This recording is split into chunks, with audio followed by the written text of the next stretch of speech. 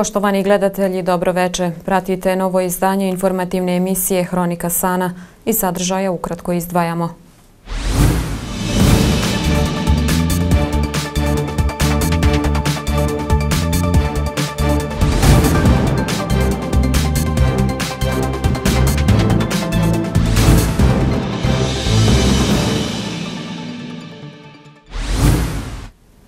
Na lokalitetu Kriva cesta, udaljenom nekoliko kilometara od centra Sanskog mosta, danas je obilježena 28. godišnjica zločina koji je počinjen nad 17 civila bošnjačke nacionalnosti koji su svire polikvidirani na ovom mjestu. Na ovu lokaciju je prije 28 godina dovedeno 20 uhapšenih bošnjaka. Oni su od strane pripadnika srpske snaga najprije fizički zlostavljani, a potom ih se natjeralo da sami sebi iskopaju grobnice. Poslije toga ovi nevini ljudi brutalno su likvidirani. Njihova tijela su nakon toga uklonjena, neka su ubačena u sanu, a većina tijela pokopana je u masovnu grobnicu na mezarju greda kada se sakupimo na ovakvom mjestu i kada slušam ljude koji su malo bolje upoznati u ono što je se dešavalo te 92. godine, malo pokušam da razmislim i zamislim kako su se osjećali ti ljudi koji su tog dana 92. godine dovedeni na ovo mjesto, postrojen u jedan red i e, kako je to sve izgledalo kada su čekali da dželati prozovu upravo njih i ubiju ih ovde u ovoj lijepoj Sanskoj dolini. Mi se danas sjećamo tih ljudi, ali sjećamo se i oni ne ljudi, oni naši komšija koji su do juče sa nama radili, živjeli, školovali se, družili se sa nama, a koji su učinili nešto što siguran sam ni zvijer ne bi učinila drugoj zvijeri. Prisutnima se obratio predsjednik udruženja logoraša općine Sanski most Sadmir Alibegović, istakavši kako je riječ o jednom od najbrutalnijih zločina počinjenih tokom agresije na području Sanske općine. Danas obilježavamo 28 godina od dana kada su srbočetničke vojne, paravojne i policijske snage skupa u sklopu sveobuhtovnog plana predviđenog za mjesta na području naše domovine Bosne i Hercegovine, pa tako i za naš grad Sanski most, na najmustroznije načine sprovodili svoje planove ubijanjima, silovanjem, zatvaranjima u logore, progonima nesrpskog stanovništva. Tako su na ovom mjestu na najgori zvjerski način doveli i ubili nedužne bošnjake, njih 17, koji su mučili, a potom ubili. Njihova tijela su kasnije zakopala neka na ovom mjestu ovdje, neka su bačena u rijeku, a neka su zakopana na masovnoj grobnici na gredi. O zločinu na krivoj cesti u posjeratnom periodu svjedočili su preživjeli. Rahmetli Ahmed Zulić bio jedan od očevidaca i neposrednih svjedoka zločina i onome što je vidio svjedočio je na samom početku suđenja Radovanu Karadžiću. Zločin počinjen na ovom mjestu dokazan je i presudama Haškog tribunala u nekoliko slučajeva, čime je i sudski nedvojbeno utvrđeno kako se on u istinu dogodio, o čemu je u ime predstavnika žrtava govorio Enes Eminić ovaj zločin, kad sam dobio od Ahmeta Rametli Zulića pismo, 93. vjerujete, kad sam ga pročitao, ja nisam mogu vjerovati. I trebalo mi je par godina da sa Ahmetom, ja sam ga par puta pokušao dovedem ovdje. Čovjek dobije tremu, počne se tresti, i ja sam uprošen da čovjek umri. Tek nakon trećeg, četvrtog puta, ja sam ga uspio do, dovesti ovdje. I ono što on meni napisao, ja to čuvam pismo, i sve sam ja to iskoristio da bi natjerao islednike iz Haga da dođu ovdje, I samo mojom pomoćom se došlo ovde i naravno Ramhetla Ahmet i njegovo svjedočenje. Najznačajnija stvar koja treba pomenuti da je ovo prvi zvanično dokazani masovni zločin koji je potvrđen u Hagu, presudom. I ako ukucate Ibra, Eminić i ostali, onda ćete vidjeti. I to je sastavni dio optužnice svim e, osuđenim e, ratnim zločinicima iz tog vremena koji su počeli na cijelom teritoriju Balkana.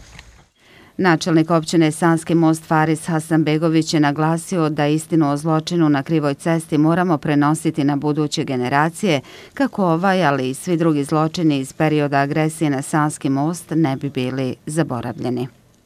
Teško i nakon evo, toliko godina prihvati ove da kažemo slike koje ovdje čovjek dobija da su ovdje ljudi dovedeni, klati, ubijani, paćeni, mučeni, ovaj, iz tih razloga i onda imamo s druge strane jednu veliku nepravdu, a to je da za te takve zločine na prostoru općine Sanski most malo je onih koji, koji su uopće odgovarali na ovo zemaljskim sudoma i imamo osjećaj s obzirom na njihova godišta da je vrlo malo njih koji će to i doživjeti. Zato mi se uzdamo naravno u onu ključnu pravdu, a to je pravda koja dolazi od dragog Boga i nadamo se i ovdje se iskupimo i da molimo prvo za sve one ljude koji su ubijeni, da ako Bog da budu oni šehidi, da molimo za njihove porodice kojima je otrebnu dio života, znači da se i njima dragi Bog smiluje i na kraju najbitnije je da molimo za naše buduće generacije da nikada ne dođu u ovakvu situaciju.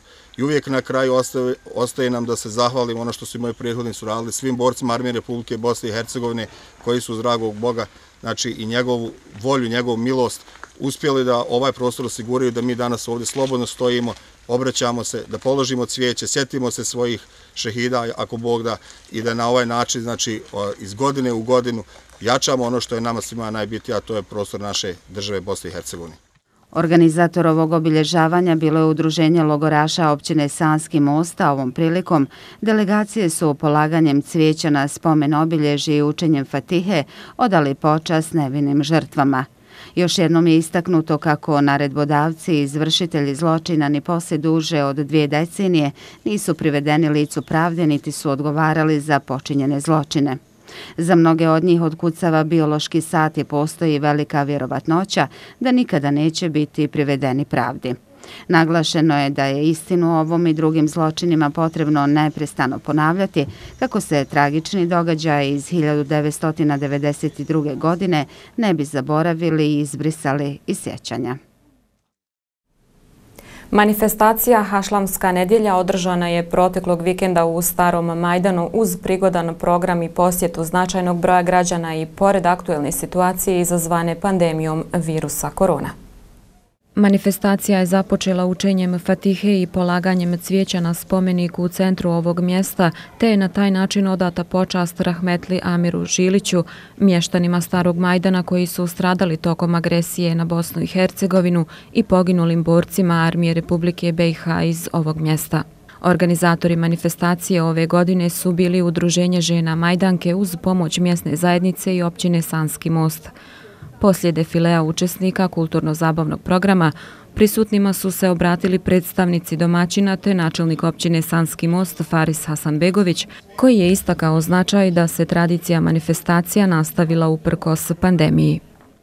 Ja kao predsjednica mjesne zajednice Stari Majdan imam čast da vam se obratim te da vam poželim dobrodošlicu u naš stari grad, starogradsku čaršiju, i ujedno zahvalim svima vama, načelniku općine posebno, Sanskom mostu, generalnom sponzoru za održavanje ove manifestacije kao i svim ostalim donatorima.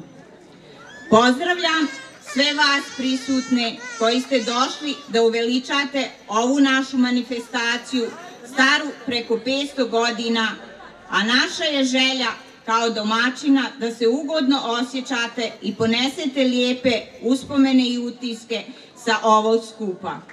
Nažalost, 2020. godina je donijela jednu drugačiju atmosferu koja nas nekako drži u bunilu. I imamo osjećaj, barem ja iskreno govorim, znači kao da se sve ovo ne dešava, kao da nije mjesec juni, jedan od mjeseci ljeta u kome inače uživamo, i Hašlamska nedelja nekako dođe kao nagoveštaj tog početka stvarnog ljeta.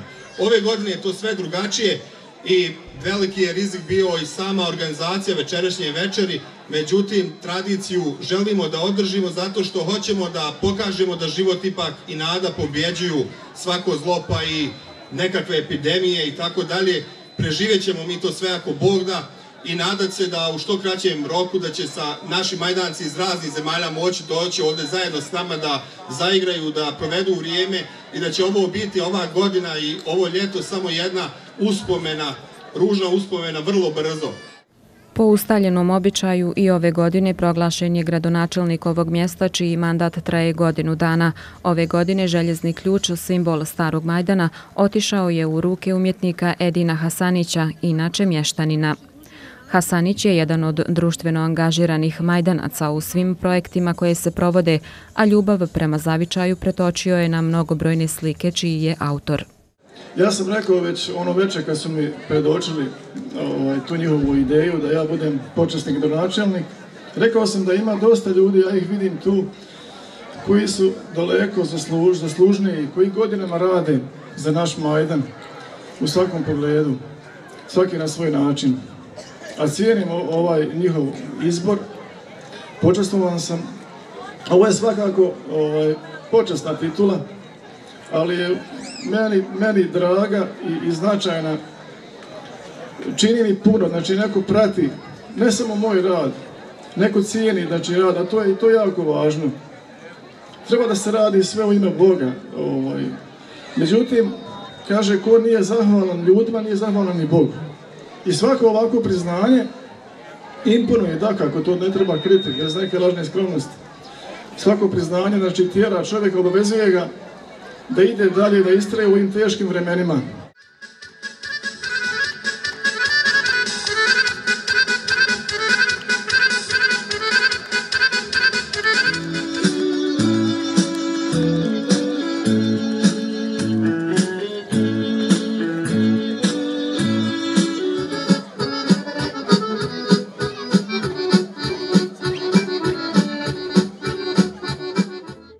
Organizatori su ovu priliku iskoristili kako bi se zahvalili te uručili poklone i zahvalnice svima koji su na bilo koji način pomogli održavanje manifestacije. Otvorena je i Hasanićeva izložba, te je održano druženje uz nekoliko kulturno-umjetničkih društava. Drugog dana manifestacije organizovana je već tradicionalna slikarska radionica, dok su zbog loših vremenskih prilika otkazani sportski sadržaji. Ono što je važno jeste da ni vanredne okolnosti, odnosno aktuelna pandemija, nisu prekinule dugu tradiciju ove manifestacije. Pripadnici policijske stanice Sanski most proteklog vikenda su sproveli još jednu pojačanu kontrolu učesnika u saobraćaju. Ovaj put je vozačima uručeno osam prekršajnih naloga, dok su iz saobraćaja isključena dva vozača. Kako su nas informisali iz policijske stanice Sanski most u skladu sa planskim aktivnostima na mjerama poboljšanja sigurnosti saobraćaja na području Sanske općine, a prema mjesečnom planu rada, 20. juna provedena je pojačana kontrola učesnika u saobraćaju. Akcija je izvedena u vremenskom terminu od 23 sata do 2 sata iza ponoći, a akcenat je bio na kontroli upravljanja motornim vozilom u alkoholiziranom stanju kao i drugi prekršaj. U saopćenju za javnost policijske stanice Sanski most se navodi da je tokom izvođenja akcije kontrolisano 59 vozača i vozila, pregledano je 50 vozila, uručeno je 8 prekršajnih naloga, a iz saobraćaja su isključena dva vozača zbog upravljanja vozilom u alkoholiziranom stanju. U akciji su učestvovale dvije pješačke i dvije motorizovane patrole. Iz policijske stanice Sanski most naglašavaju da će se akcije pojačane kontrole učesnika u saobraćaju izvoditi i u narednom periodu, te se ujedno upozoravaju vozači da se pridržavaju saobraćajnih propisa. Pored malog parka na Zdeni nakon dužeg perioda, Sanjanke Dobrog srca organizovale su kolačijadu. Sva sredstva prikupljene i od ove kolačijade namjenjena su u humanitarne svrhe. Prema riječima Azre Jakupović, koordinatorice sanskih udruženja žena, na ovaj način žene su htjele razbiti monotoniju izazvanu pandemijom virusa COVID-19. Što se tiče e, kolača, to je prodaje kolača za naše građane, znači za ugrožene građane. Kolačijadu bi nazvala onako kao jednu vrstu bunta protiv svega ovoga, protiv ove korone, protiv e, covida, protiv virusa, da malo izađemo na ulice, da, da, da smo jednostavno živi, da idemo, da moramo živiti dalje uprkos virusu. Prema riječima Ide Begić, jedne od organizatorica ovog događaja, žene Sanskog mosta neće stati na ovome, nego idu naprijed, te su najavile humanitarnu večer koja će se održati u gradskoj sportskoj dvorani. Predviđeno je da se ista održi 17. jula ove godine. Da, ja ću evo kolučijadu Azarija smo organizovala kao bunt na ovu situaciju, na koronu, na, da iziđemo malo bez maski i najavljujem ako Bog da 17. jula petak u dvorani veliku humanitarnu večer, priredbu isto će ide sve u humanitarne svrhe, Biće folklor, moje malenkosti lahije i kaside, narodna muzika Sevdah, sve i Bujrum pozivam građane Sanskog mosta da se odazovu, da podržimo najugroženiju kategoriju u našem gradu. Zaboravljeno, nažalost, i prepušteno samim sobi. Tako da Sanjanke dobrog srca su u svoj grad, u svoj narod i prije svega mi humanitarne akcije organizujemo za svoje lokalno stanovništvo, a onda, ako što ostane, idemo dalje. Članice svih sanskih udruženja su za ovu priliku pripremile kolače koje su prodavale svojim sugrađanima, a sva sredstva idu za potrebe socijalno ugroženih porodica Sanskog mosta. Jedan od lijepih sadržaja koji je s godinama zaživio u okviru manifestacije Hašlamska nedjelja je slikarska kolonija koju je i ove godine uspješno organizovao umjetnik Edin Hasanić. I ove godine organizovano je natjecanje u likovnim radovima u nekoliko uzrasnih kategorija kod najmlađih, a sve radove pristigle na objavljeni konkurs bodovao je žiri. Za najuspješnije autore, zahvaljujući sponzorima manifestacije, osigurane su vrijedne novčane nagrade. Također i ovaj put je organizovana slikarska radionica za veterane, odnosno starije učesnike, koji su imali priliku da pokažu svoj talenat i vještinu na papiru. Ove godine malo kasnimo zbog poznate situacije sa koronom. Hvala Bogu, uspjeli smo ipak da se organizujemo na vrijeme. E, dio kolonije za, za najmlađe je odrađen već preko Facebook, e, Facebooka. Djeca su radila jako lijepe radove, očekuju svoje nagrade i podjela nagrada će biti ako boda po završetku kolonije koja traje, kolonije starijih. Odazvali su se i stariji u jednom znači broju, onako nešto manje u odnosu na prošlu godinu, ali ipak zadovoljan sam odazivom ovaj, nadam se da će sve proteći u najboljem redu, znači jedno lijepo druženje uz podjelu nagrade i prigodnih poklona. Zahvaljujem e, sponzorima koji su kao i svaki put pomogli ovaj projekat. Zahvaljujem e, predstavnicima vlasti koji su općini Sanski most i predstavnicima mjesne zajednice Stari Majdan. Likovna kolonija i ove godine opravdala očekivanja i pored aktuelne situacije izazvane pandemijom virus korona ali ni to nije moglo pokvariti ovogodišnje lijepo druženje i nadmetanje uz boje.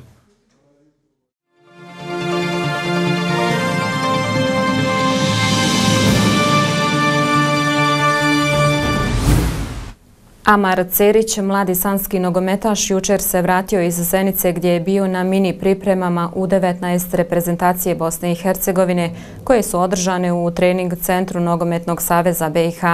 Amar se i ovaj put pokazao u odličnom izdanju i dokazao da selektor Slaven Musa na njegove usluge može računati i u predstojećim reprezentativnim utakmicama. Juniorski reprezentativci Bosne i Hercegovine selekcija U19 održali su mini pripreme u trening centru Nogometnog saveza Bosne i Hercegovine. U svom voljenom dresu ponovo je nastupio i mladi sanski nogometaš Amar Cerić, koji je uspješno odradio postavljene zadatke i posebno se istakao dobrom igrom i golovima. Mladi Cerić je pokazao da mu je za vrijeme epidemije koronavirusa nedostajao nogomet i da je željan igre i dokazivanja. Na okupljanju juniorske reprezentacije BiH je pokazao da se nalazi u dobroj formi i u odigranim utakmicama je naprosto blistao. Selektor Slaven Musa je prezadovoljan Cerićovom igrom te istakao kako je znatno napredovao u igri. Prva dva dana reprezentativci su igrali utakmice međusobno i svaki put Amarova ekipa pobjeđuje, a on daje po dva gola i jedini je strijelac u svojoj ekipi. Da je Amar i ovaj put dao 100% od sebe, potvrđuje i podatak da su zadnji dan u Zenici sprovedena razna testiranja svih igrača od brzine, agilnosti i izdržljivosti, a Cerić je bio prvi u svemu. Prije svega drago mi što sam, što sam pozvan e, ponovo u reprezentaciju. E, naravno, nikako to nije, nije lako ni, ni jednostavno. Drago mi što sam očeo tamo, bio sam dobar, e, zadovoljio prije svega ja sam zadovoljan svojom igrom, svojim nastupima, ta testiranja što se desila, jednostavno, eto, dao sam sve od sebe, trudio sam da budem što bolji, naravno, trener što prepoznali, vidjeli i eto, dobio sam i neke nove ponude povodom toga. Pa meni je to stvarno velika stvar i, i to se ne može nikako kupiti i, ništa, a jednostavno nije mala stvar, vrijedan rad, trud, eto, učinio je to da, da me opet pozovu i, i jako mi je drago zbog toga.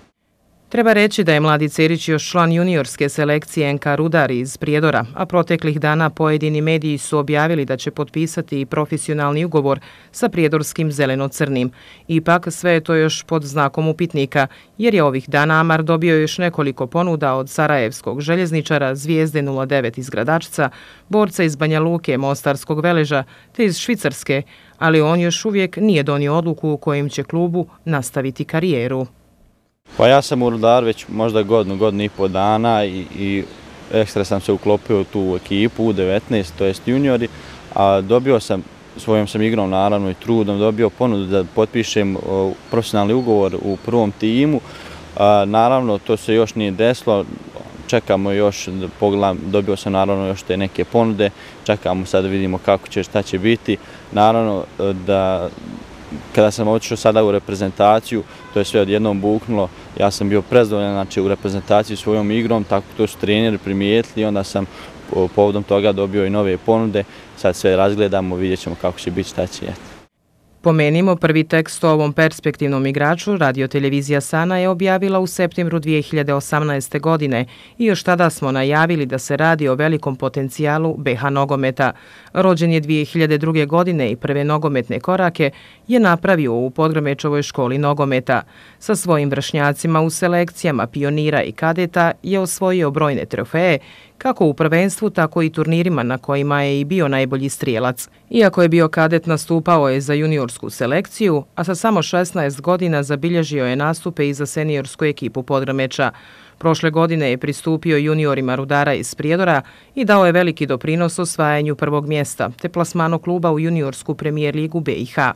Na kraju Amaru samo možemo poželjeti sreću u nastavku karijere i da nastavi pružati dobre partije u dresu mlade reprezentacije Bosne i Hercegovine, a u budućnosti da zaigra i sa starijim zmajevima.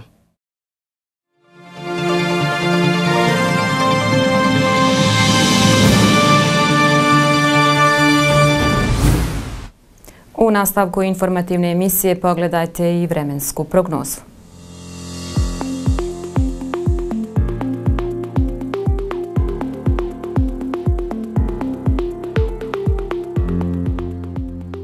Danas je u Sanskom mostu preovladavalo mjestimično oblačno vrijeme sa kišom. Vjetar slab do umjeren zapadni i sjeverozapadni. Jutarnja temperatura zraka iznosila je 12 stepeni, a dnevna 22 stepena. Sutra će preovladavati dijelomično oblačno vrijeme, ponegdje s kišom. Jutarnja temperatura zraka iznosit će 14, a najviša dnevna temperatura 25 stepeni.